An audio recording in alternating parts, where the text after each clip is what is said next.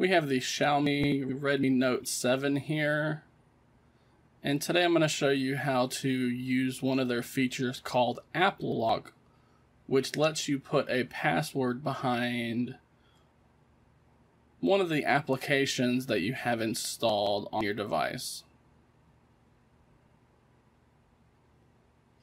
There are a lot of people that like to compare Xiaomi with Samsung.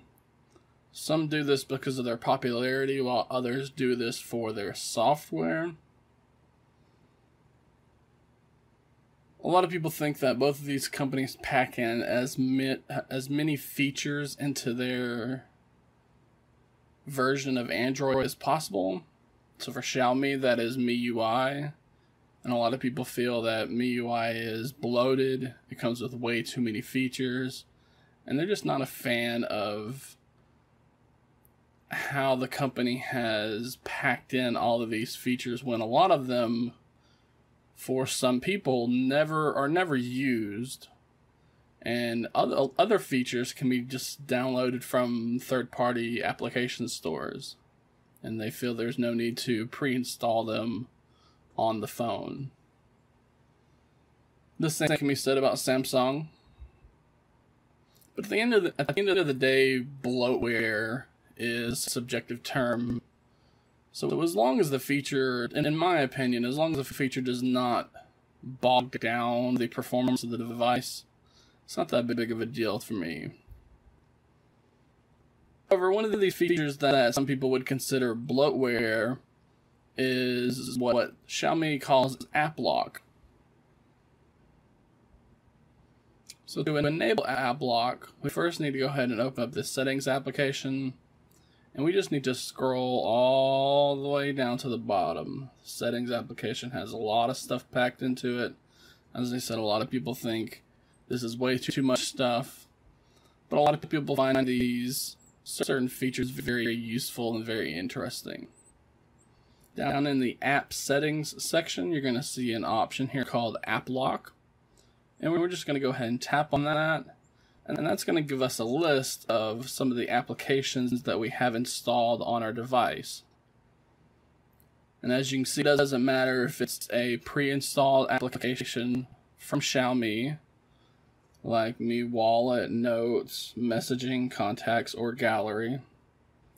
Or if it's one of the other applications that we have installed from any source. It doesn't matter if it's the Mi App Store or if it's the Google Play Store. As I've shown you before, how to sideload and install the Google Play Store and Google Play services on this channel previously.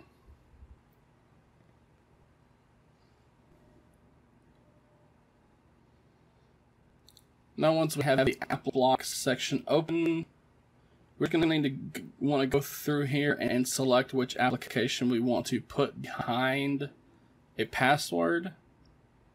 And I'm just going to use the Solid Explorer application as an example. It is my go-to file explorer. Now this could be used for any other application, say a gallery application. Maybe you don't want anybody who has that you hand your phone off to to be able to go through your pictures. So setting a password behind the gallery app is a good idea. So we just want to make sure that any application that we have a password set to has a blue check mark and then we're just going to tap on the set password button.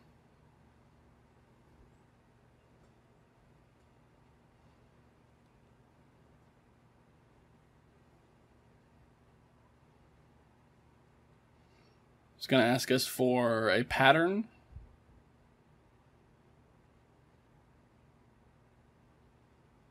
And it's going to make sure that you have a Mi account added to the device just in case you need to reset your password in case you forgot it.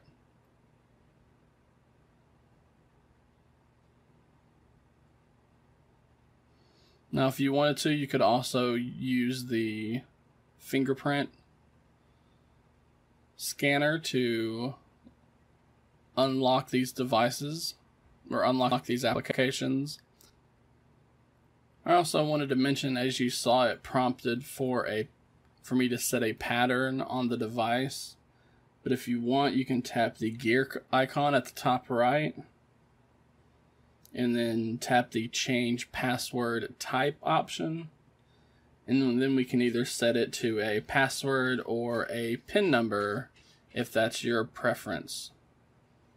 Again, we can also choose to unlock it with a fingerprint. And now, whenever we want to unlock and open up the Solid Explorer application, we're going to get that prompt up to enter our PIN pattern or password so that we have access to it.